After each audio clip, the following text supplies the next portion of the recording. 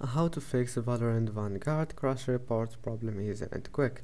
If you want to fix this problem, all you need to do first just uh, type here. Uh, services.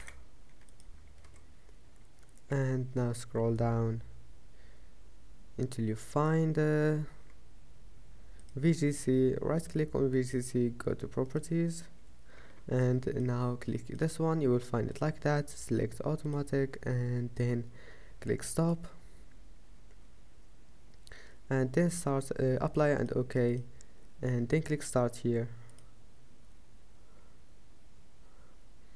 And that's it. Now just uh, restart your PC and after restarting your PC just make sure uh, Vanguard is enabled here and that's it. Don't forget to like and see you in the next video